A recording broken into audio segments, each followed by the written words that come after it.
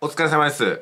ウィリアム・サッカレーっていうね、方がいらっしゃるんですけども、その方の名言で、愛してその人を得ることは最上であるっていう言葉があるんですよ。これは多くの方が同意するところだと思います。しかしですね、次の下の句ですよね。これ、これが深いんですよ。愛してその人を失うことはその次に良いって書いてあるんですよね。で、まさにね、その、私が思うに、まあ、R34 かもしれませんけども、それぞれ人にはね、大切にしてるものがあると思うんですよ。それを失うことって、寂しくて辛いんだけども、ものすごくいいことだよ、とも言われてるんですよね。これがね、年を重ねてだんだん分かるようになってきましたね、私もね。あの、とっても大切なものとか愛するものを失った時に、自分のその愛情に気づくというかね、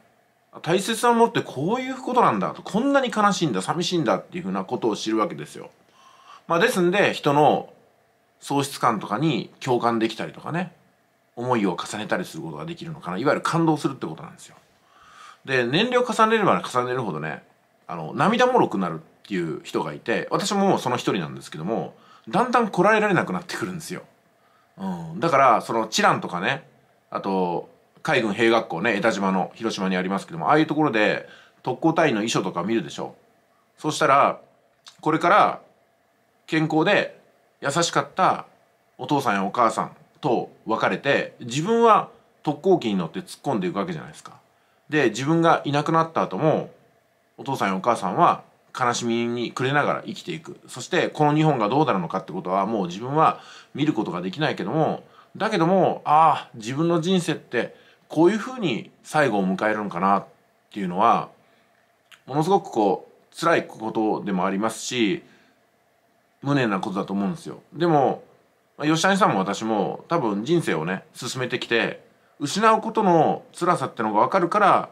あの特攻隊員の衣装ですごくね、あの、胸を打たれるっていうか涙が流れると思うんですよね。うん。だからその、人の気持ちを知ることとか分かることって非常に難しいんですけども、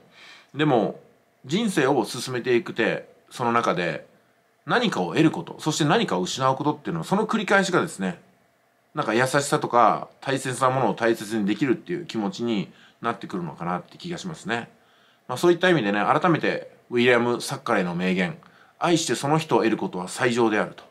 愛してその人を失うことはその次に良いっていうのがね、よくわかるなというふうなところでございます。まあ私もね、ナイト2000を手放す時って、ああ、いい人生を形作ってくれたなっていうふうな思いで、多分手放した後もずっとね、心の中に秘めてると思うんですよ。だから失うことっていうのは得ることなんだなと。そういうふうにね、思えるようになりましたね。それじゃあ。